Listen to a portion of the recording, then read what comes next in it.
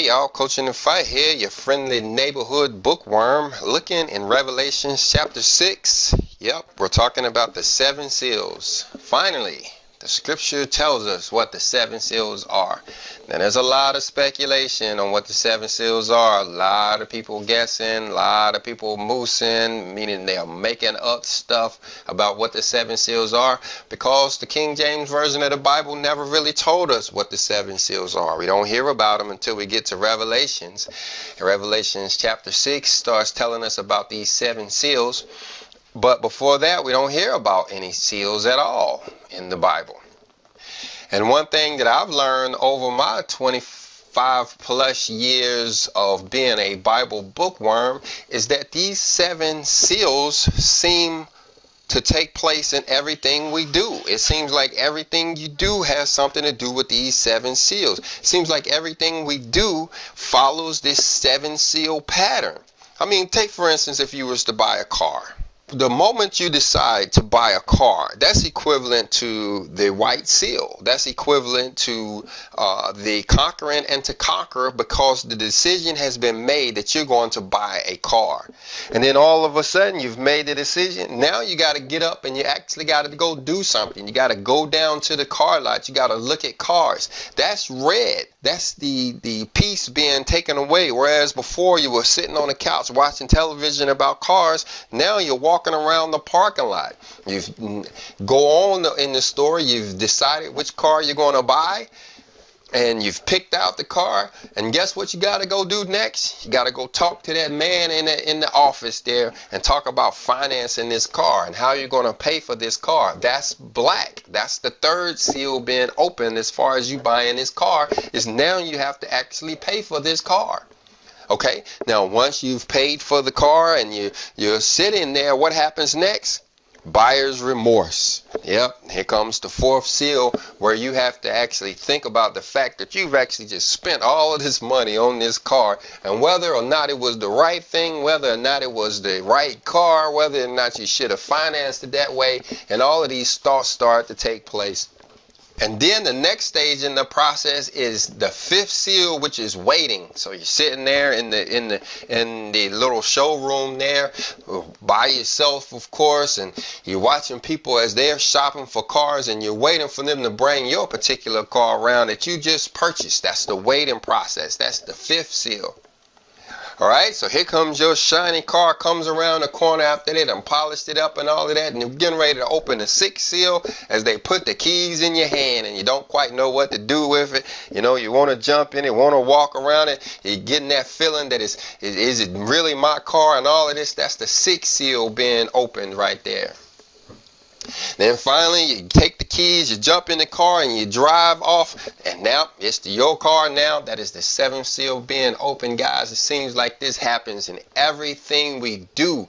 Pay attention to it. Watch things as they take place. You'll notice that it all follows this seven seal pattern. It seems like everything in life follows this seven seal pattern, which explains why so many people think they're seeing the seven seals of Revelations being opened all throughout history. Some believe they've been opened in the last Some believe they've been open in the last decade. Some believe they've been open in the last century. Some believe they've been open in the last millennium. People are all over the place about these seven seals. And again, I say it's because the scripture never tells us what the seven seals are until now. Introducing the third testament of the Bible. Turns out we have a third testament of the Bible. Some of you guys have heard of it. Those that have followed our channel have heard a lot about the third testament of the Bible as we do classes on the third testament of the Bible. And some of you other guys have heard about the third testament of the Bible because there is a audio book on YouTube and a PDF file that you can find over there at jesuscomes.com that talks about the third testament of the Bible. There's even a hard copy version of it, turns out, about the third testament of the Bible, the third part of the trilogy. You have the Old Testament, you have the New Testament, and if you knew anything about numerology, you know there should have been three parts to this thing. You have the third testament of the Bible, which is spirit and truth, the revelations of Jesus Christ. And way up here in chapter 38 of the third testament of the Bible, we find out what the seven seals are. Chapter 38, there are 65 chapters in this testament total, and chapter 38 is entitled The Three Divine Revelations and the Seven Seals. Yep, the three divine revelations is talking about the the Old Testament, the New Testament, and the Third Testament, telling us why we had to have three parts to this book. The first part was given by Moses, which gave us the law. The second part was given by Jesus, which gave us love. And we have the third part, which is given by Elijah, which gives us light or wisdom, the spirit and truth that we've all been waiting for. This book is unlocking all kinds of secrets, guys, including where we go after we die, how telepathy works. It tells us about the power of prayer and how we. And have you ever been wondering why all these TV evangelists and stuff been trying to heal people and and seems like it's all been fakery and stuff? Well, if they read the Third Testament of the Bible, they'll learn how to heal people for real. This thing is unlocking all kinds of truths, guys. And here today, we're going to unlock the seven seals. Yep, I'm going to tell you exactly what the seven seals are of Revelations. And I'm going to try to explain it to you uh, using the time chart history of the world. Right? I have this hard copy book on my shelf. I couldn't find any images of it on anywhere online, so I had to go ahead and take some pictures of them. And we're going to use it just to give us a little bit of help in understanding what the seven seals are because they're not as simple as you would think they are. They are a little bit complicated. Now, I'm not saying that I understand all of it. I do understand a little bit of it, but we have enough documents here, have enough proof here to where people who who are studying the seven seals should give you some ideas, some stuff that maybe you can run with, and if you create a video on it, give me a link because I'd like to see what you come up with.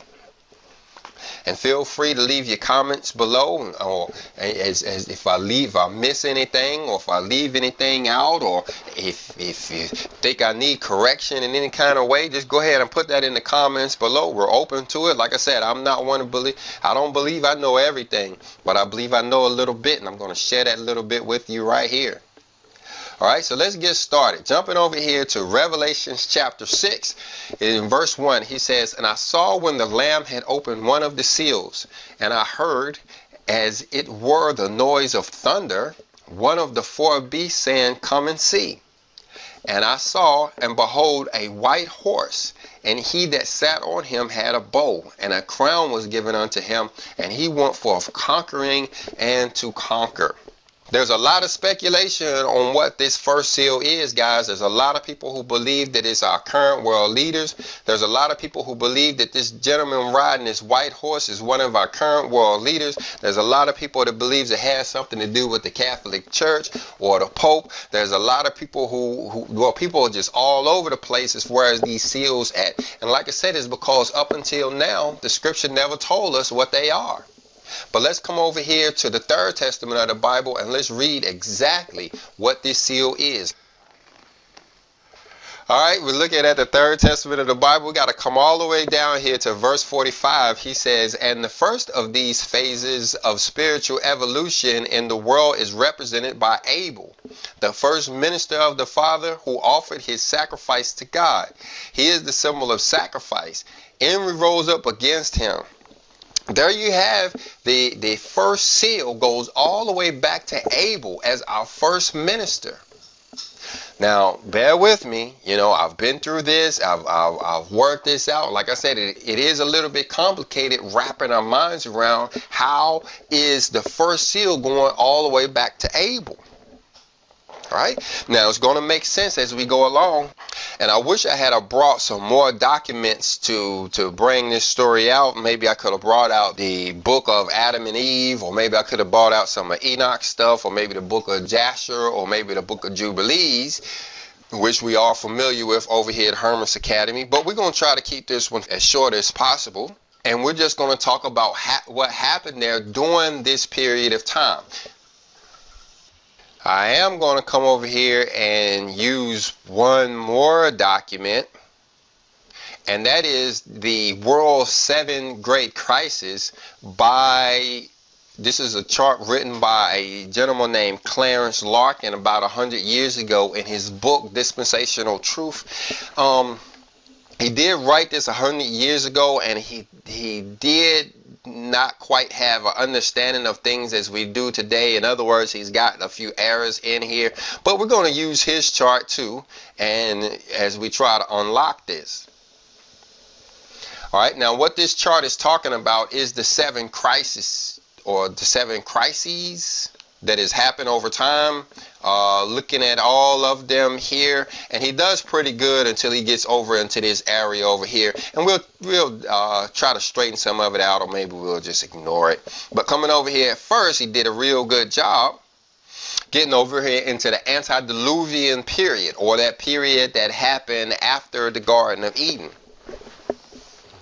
All right, so this is how this is working. Like I said, we spent a lot of time trying to figure this out and trying to understand this out, uh, trying to understand this. And when he said that the first period was with Abel, the period that he's talking about was the time between the time that Abel was born and the next period here. This is the whole first seal period during this area here. Right? And that's what makes it a little bit confusing is because when we when we look at it and we say that it was Abel, we kind of want to think that everything happened right there when Abel would have been born, and no, it actually happened throughout the time uh, from the time Abel was born all the way up until the next seal was opened. and we're gonna find out in a minute that the next seal was opened with Noah. All right, let's go back to Revel let's go back to Revelations. It says, "And I saw and behold a white horse, and he that sat on him had a bow, and a crown was given unto him, and he went forth conquering and to conquer." Now, to understand this, like I said, I wish I had brought out Enoch, which starts to tell us about the fallen angels, because what we learn in that story about the fallen angels is was that it was these these angels who had came down and saw the uh, women that were on the planet, saw the human women, fell in love with them, decided to walk out of heaven, come down to earth, and marry these women, and actually they had children by these women. Well, another thing that they did was they taught them uh, how to make weapons. They taught them how to make war. They taught them how to make bows. They taught them how to kill people during this time. Now, their children, you know, you heard of Nephilim or the giants that were created there in Genesis chapter 6. These guys went on to make themselves kings. They were the first kings of the planet, and that's where these crowns would have come in, is because these guys set themselves up. They were they were giants, and they set themselves up as kings in that in that era. This had never really taken place before this seal was opened. There was no bows, there was no killing, there was no conquering or anything like that before this seal was opened. And this all took place during that period between the first and the second seal being opened.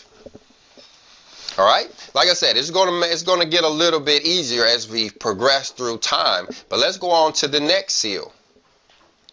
Verse 3 says, And when he had opened the second seal, I heard a beast say, Come and see.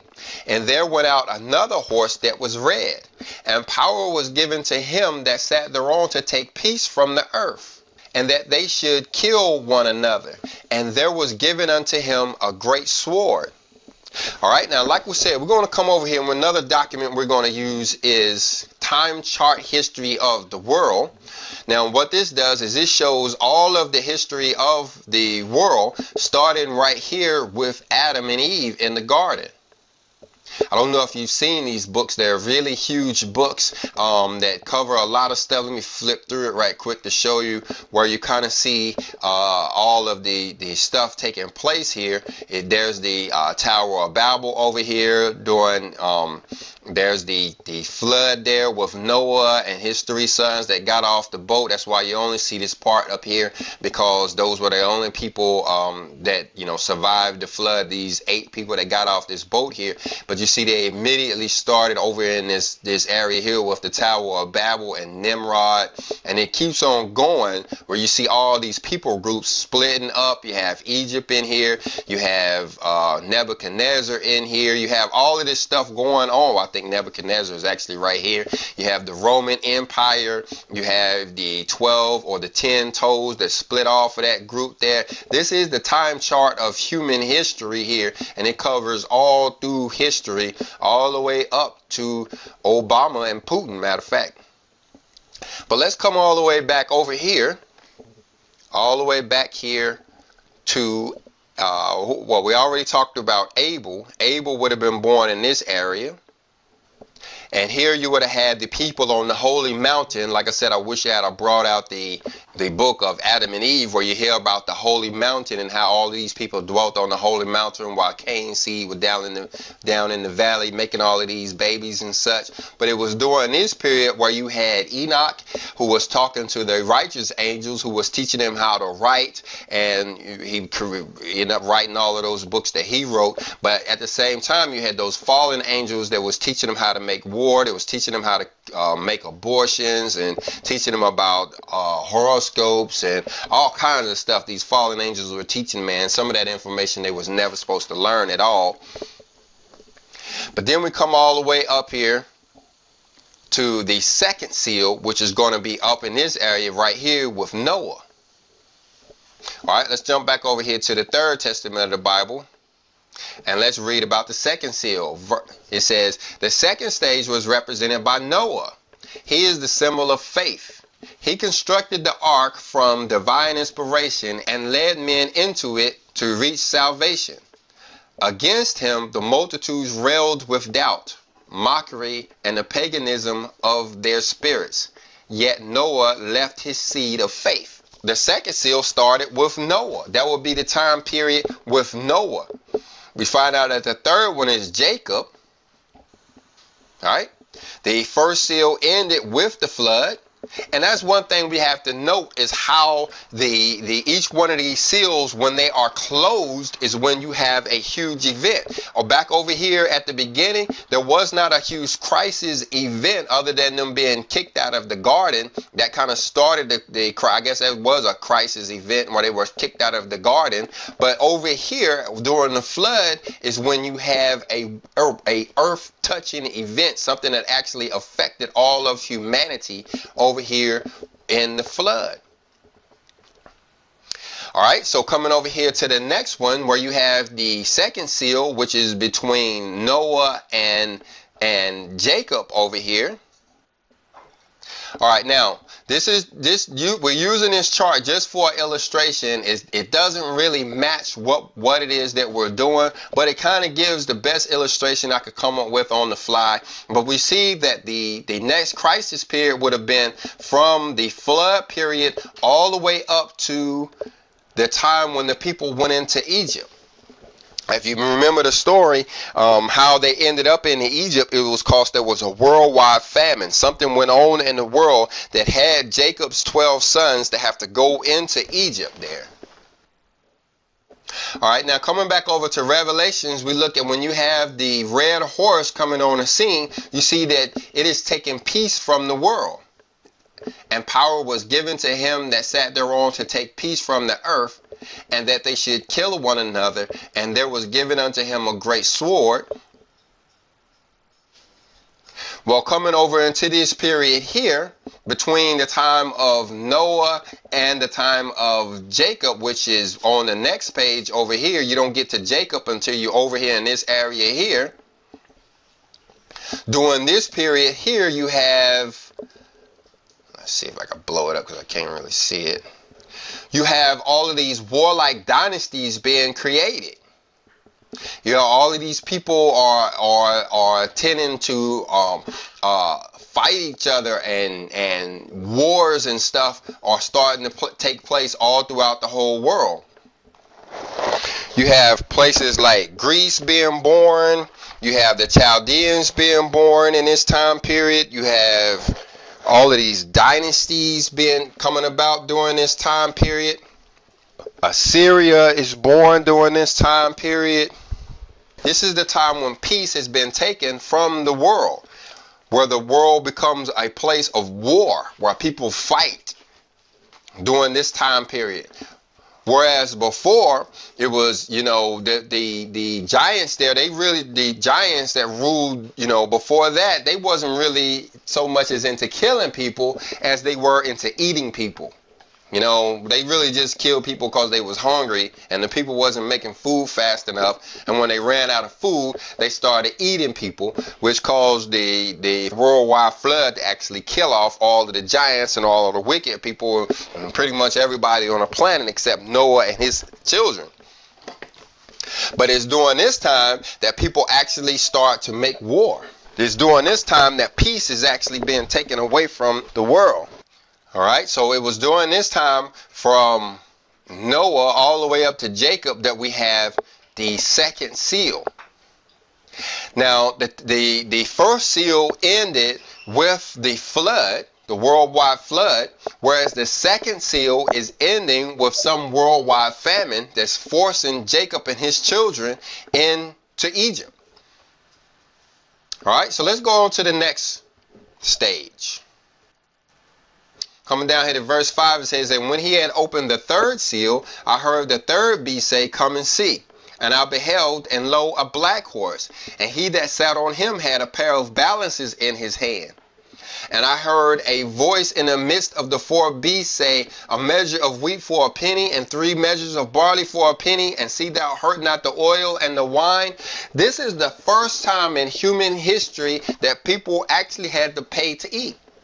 Before then, Jacob and his bunch, Abraham and, and, and Abraham, Isaac, and Jacob, and pretty much everybody else on the planet survived on growing their own food and everything themselves. Nobody purchased food before during that before that period.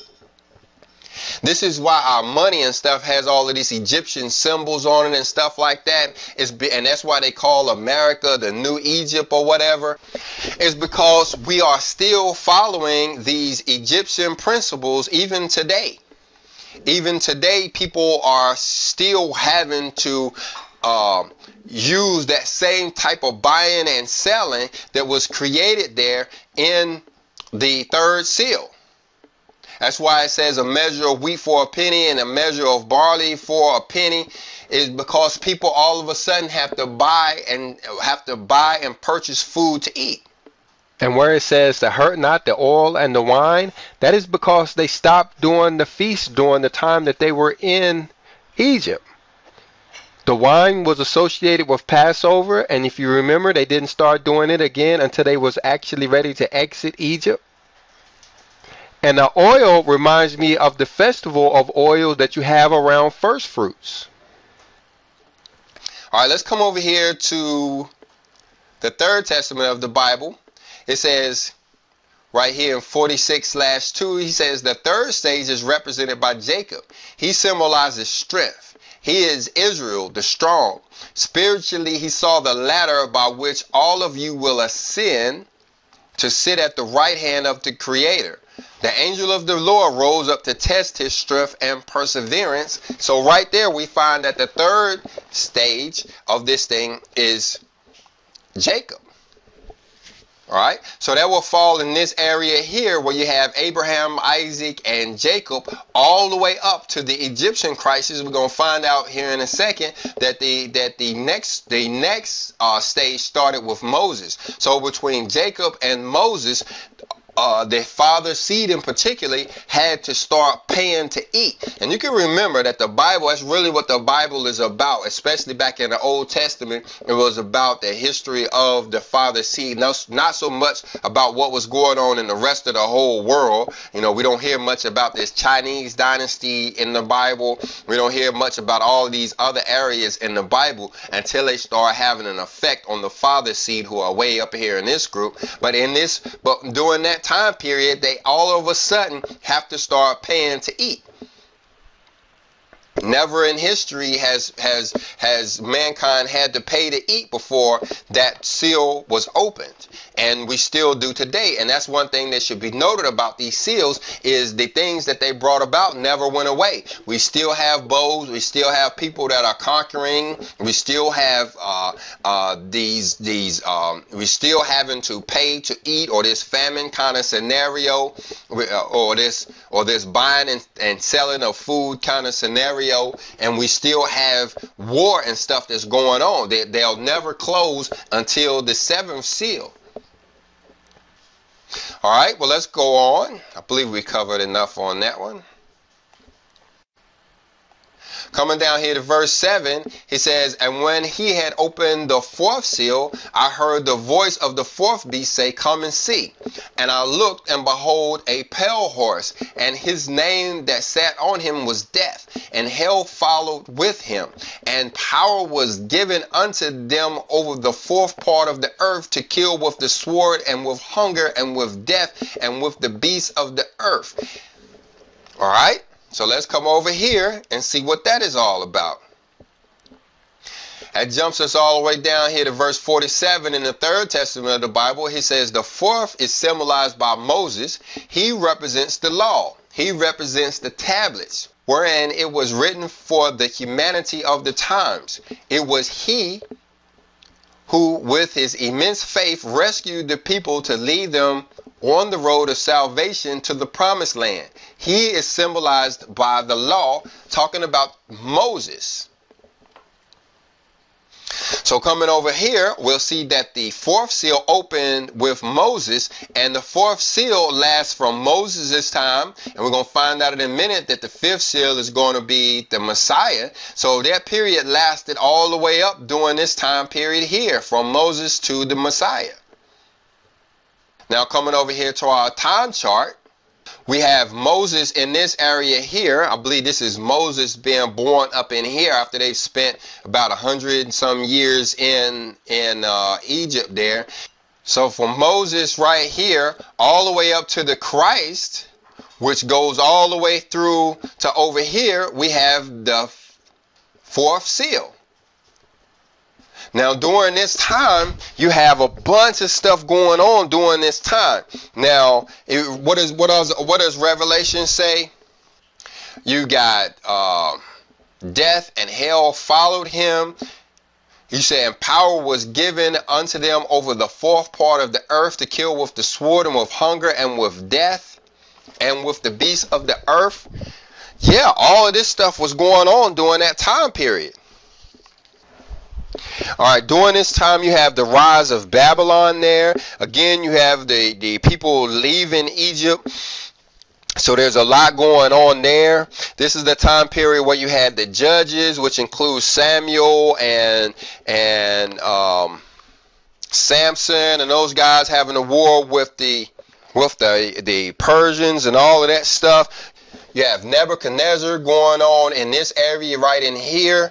You know, and remember that he was conquered over in this area over here. So there's a there's a lot going on as far as world domination. You remember that the egyptians they never really went out and tried to conquer the world or anything. It was so much that you know they got their fame because uh, first of all pharaoh uh, was an undertaker and he learned to make people pay for being buried and stuff. That's how he made the country rich was you know all of a sudden people had to pay to be pay to die. They had to pay to be buried, you know, and stuff. And they had to uh, pay for food, but they didn't actually go off and try to kill anybody during that time period. Talking about the Egyptian period over in this area, they wasn't trying to be world domination going on over here. But then after Moses was born here and on going forward, it seems like the whole world went into this world domination mode. Like I said, you have Babylon, you got the Persian Empire in this area right here. And see in this in this time chart, you see how all these areas are getting bigger, like this area is getting bigger right here, is because they're dominating other parts of the world. They're they're actually, you know, conquering. There's actually, you know, making war with these other countries and, you know, killing them and, you know, making them, you know, part of their nation or whatever. And that's that's remember that's what Nebuchadnezzar did over there was you know to in order to sack Jerusalem, he basically starved them out for over a year. And that's where and that's where Revelations is talking about when he says. Uh, uh, with hunger. Yeah, they was they learned to starve people out. They built a, a, wall all the way around Jerusalem, and people couldn't go out and people couldn't come in, and basically starved these people for over a year before he went in and just you know before he went in and, and, and did what he wanted to do with that nation. Down in here, you have the beginning of the Roman Republic down in here. So you got some domination, you got some killing that's going on over in there during this time. You have Cappadocia and Asia and uh, Ptolemy is in this time period. And all of this stuff going on during this time period in here. Now, like we said a few minutes ago, remember at the end of these crises, there's always something that comes in and affects the world. At the end of uh, Jacob's period, there was a world famine that forced the people into Egypt there. And then at the end of, you, you remember that when the Messiah was put on the cross and he was killed during that time period, there was a huge earthquake that ripped the temple veil and did some other stuff. That that ended the period that, that was started by Moses. There's always some type of of uh, catastrophe or or earthquake or famine or something coming from outer space or all of the plagues like over there in Egyptian time when we ended the Jacob period. You had all of those ten plagues that affected the world or whatever. There's always some big world event or world catastrophe that goes on at the end of these. All right, so let's go on. Verse 9 says, and when he had opened the fifth seal, I saw under the altar the souls of them that were slain for the word of God and for the testimony which they held. And they cried with a loud voice, saying, How long, O Lord, holy and true, dost thou not judge and avenge our blood on them that dwell on the earth? All right, now all of a sudden we have the killing of the saints. Starting here with the Messiah being born right here, all the way up to now. This is where, like I said, this chart wasn't really made for this, and it, it, it and it's kind of following some of a little pattern here.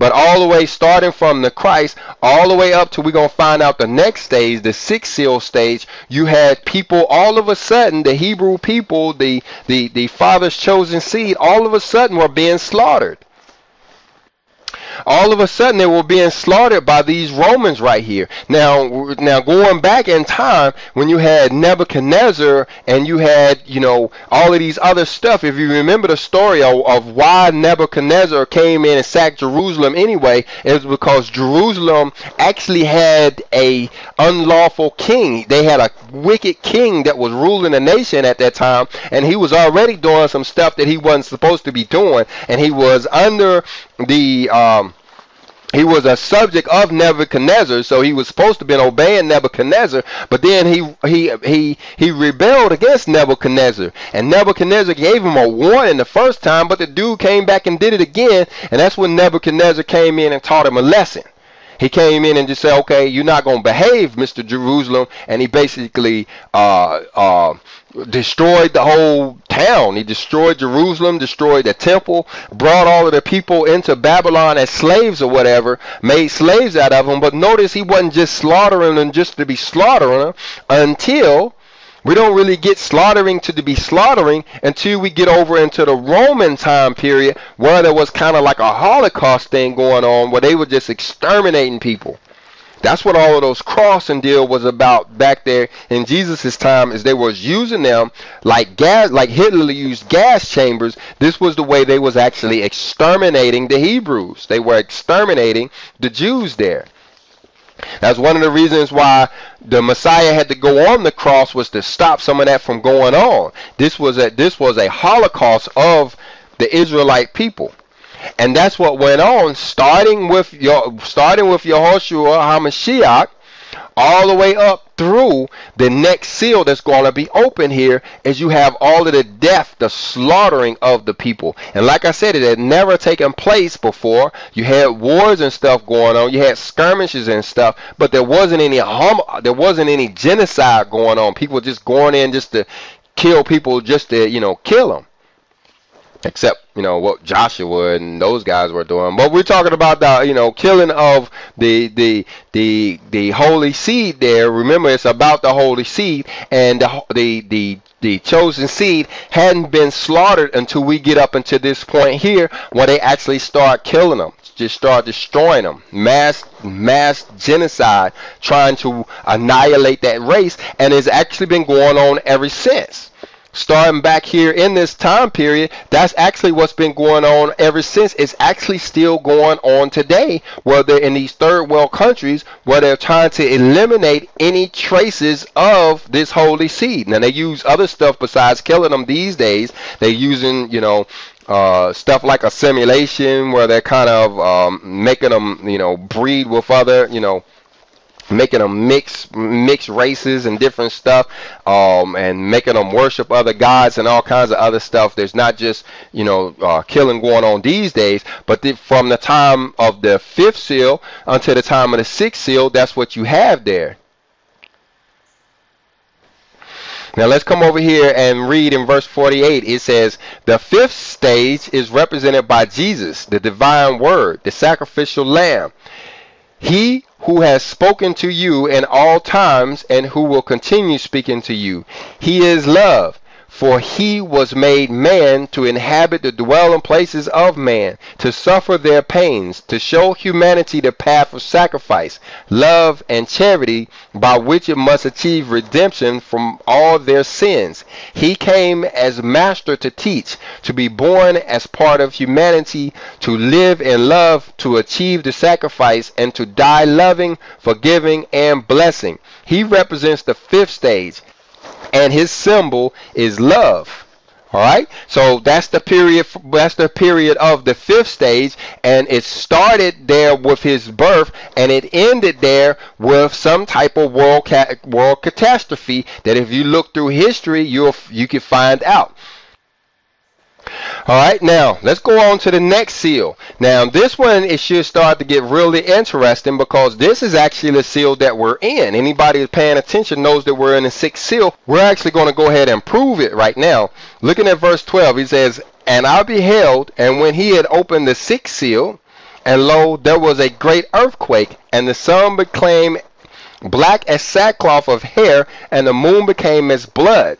And the stars of heaven fell unto the earth, even as a fig casteth her untimely figs when she is shaken of a mighty wind. And the heaven departed as a scroll when it is rolled together, and every mountain and island were moved out of their places talking about this worldwide earthquake that were expected to happen during the sixth seal. And this is this this is why we're doing this class over here is because we're finally getting an understanding of how this is working. There's plenty of people that will say that we're in the sixth seal, but it comes off a little bit confusing because you're wondering, okay, well, where is these earthquakes? Where is this sun turning black? Where is this moon turning to blood? Where where is all of these stars falling out of heaven? They're like a meteor shower that's pelting the earth. Where are these kings running and all of this stuff that's supposed to happen from the sixth seal? Well, remembering over here where we was looking at this chart and how these events, these major catastrophic events happen at the end of the seals. It was the end of the first seal that you had a worldwide flood. The event happened at the end even though the next seal was open with Noah, you didn't have a you didn't have the catastrophic event until Jacob's time and forced and forced the 12 tribes of Israel into Egypt. The sixth stage is represented by Elijah, called Elias in the New Testament. He is the symbol of the Holy Spirit. It is he who goes on his chariot of fire, bearing light to all nations and all the worlds that are unknown to you, but known to me. For I am the Father of all the worlds and all the creatures. This is the stage in which you are living. That is of Elijah. That of Elijah. It is his light that illuminates you. He represents the teachings that were hidden, but that are being revealed to mankind in this era. All right, so this is is clearly telling us now that this is the stage that we're living in right now with Elijah. This individual, eh, this if you know anything about Elijah, you know that he was one of the two individuals that never died. He was translated, and when you go back over and read the last verse of the Old Testament, you find out that Elijah is supposed to return. You find out over there in in in in uh, in the Gospels, they were telling them that Elijah was supposed to return as well. You you know throughout the Old Testament and the New Testament that there's something supposed to happen in the end times dealing with Elijah. Well, we find out that he is actually the leader of the sixth seal. Is him bringing in the sixth seal. Whereas Moses brought in the fourth seal, Jesus brought in the fifth seal. It is Elijah that's bringing in the sixth seal. Now, like I said, I don't have all of the details. So I don't know what catastrophic event happened over there during that time. But we see in 1866 is when this Elijah was actually this Elijah period was born there was in 1866 the 1st of September 1866, and that's really talking about uh, the first day of the seventh month, talking about the memorial blowing the trumpets there. But he says, was the birth of the new era, the dawn of the new day, the third era, which was open before humanity, talking about the sixth seal being opened there with Elijah. And if somebody wanted to go in and study, they would be able to find some type of catastrophic event that happened during that time period. There was some earthquakes that went on in, in America there. There was, you know, a bunch of stuff that happened during that time period, but I can't say I can nail down what exact world catastrophic event happened there as the fifth seal closed and as the sixth seal opened. But what I can tell you is what's going to happen when the sixth seal closes, and that's these events that you see over here in Revelations.